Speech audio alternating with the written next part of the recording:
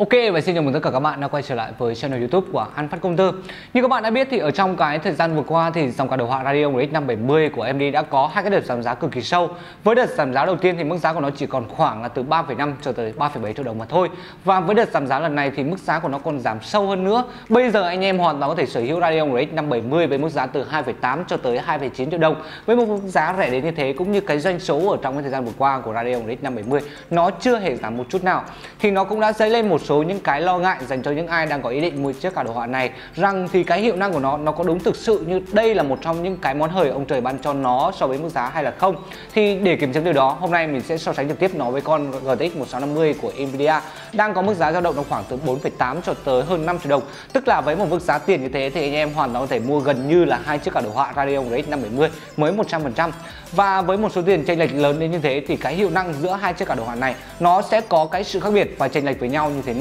Thì anh em hãy cùng mình tìm hiểu trong cái video ngày hôm nay.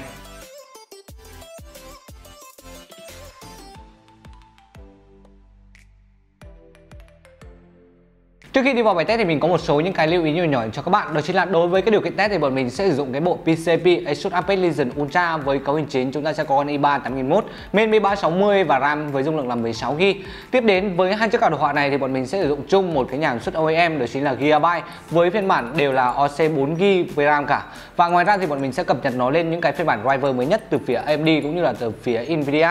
Và ngoài ra thì cái nhiệt độ trong phòng trong xuyên suốt quá trình test thì nó sẽ dao động trong khoảng từ 27 cho tới 28 độ C. Vừa rồi là một số những cái lưu ý mình muốn gửi tới cho các bạn trước khi mà chúng ta đi vào bài test. Còn ngay bây giờ thì anh em hãy cùng mình đi vào bài test ngay thôi nào.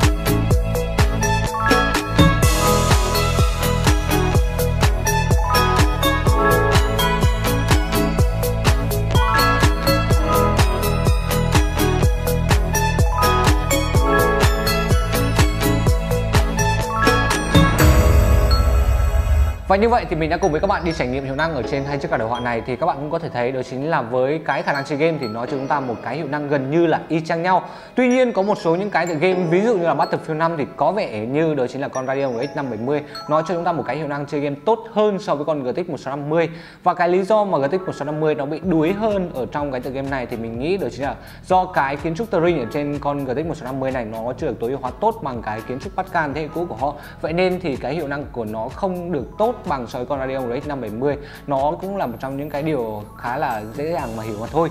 còn về cái mặt hiệu năng, khi mà chúng ta sử dụng những cái bộ phần mềm render, ví dụ như mình đã thử ở trong đây, đó chính là cái bộ phần mềm Adobe Premiere, thì đối với con GTX 1650 nó được sử dụng cái nền tảng, đó chính là nền tảng CUDA. Nó cho chúng ta một cái khả năng render nhanh hơn rất là nhiều so với con Radeon RX 570 và như vậy thì hôm nay mình đã gửi tới cho các bạn về cái bài so sánh hiệu năng, cũng như là một số những cái ưu và nhược điểm ở trên hai chiếc card đồ họa, đó chính là Radeon RX 570 và GTX 1650 hy vọng thì sau video ngày hôm nay thì các bạn đã có cái nhìn cụ thể hơn về hai chiếc card đồ họa này, cũng như đâu chính là chiếc card đồ họa, nó sẽ phù hợp với cái nhu cầu của các bạn. Và cái thời lượng video của mình đến là kết thúc. Các bạn xem video cảm thấy hữu ích, đừng quên ấn like, share video này. Và nhớ ấn vào nút đăng ký để theo dõi các video mới nhất của chúng mình tại channel youtube ăn phát computer. Còn bây giờ thì xin chào và hẹn gặp lại quý vị và các bạn ở trong các video kế tiếp.